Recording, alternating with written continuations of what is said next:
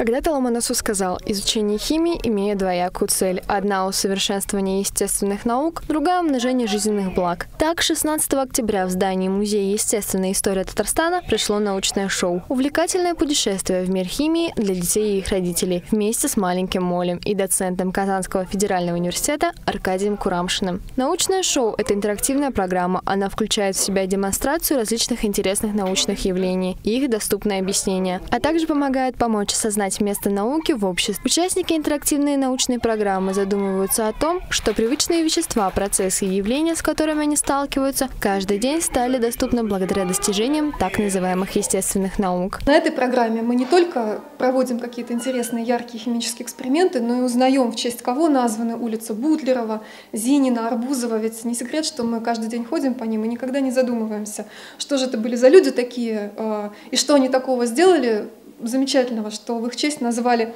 улицы. Химия занимает одно из почетных мест среди других наук, ведь она обеспечивает их веществами, материалами и современными технологиями, и вместе с тем использует достижения математики, физики, биологии, экологии для собственного дальнейшего развития. Она помогает понять окружающий мир, определить в нем наше место и обеспечить устойчивое развитие человечества. Поколение это восприятие науки перестало быть отчасти восприятием чего-то магического, и чтобы они поняли, что это может сделать любой человек. Когда чудо становится, когда чудо объясняется, оно, может быть, перестает быть столь чудесным, но оно открывает такие новые вопросы, по которым мы дальше начинаем двигаться. Естественные науки помогают окунуть ребенка в этот загадочный и еще не освоенный мир, позволяют провести время ребенку не просто весело, но и с пользой. Вместе с ребенком даже родители узнают что-то новое, причем о тех вещах, с которыми сталкиваются каждый день в повседневных делах. Попали на это шоу, очень давно собирались и пришли совсем большим семейством.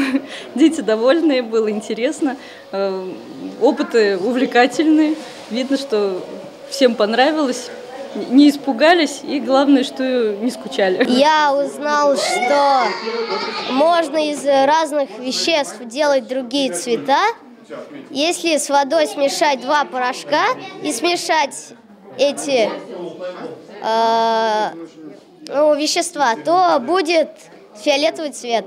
Наука для ребенка может стать очень хорошим увлечением, которое, возможно, будет полезно для него в будущем. Он всегда будет заинтересован в процессах и явлениях, которые происходят вокруг него. Диана Шилова, Роман Самарин, Univer News. News.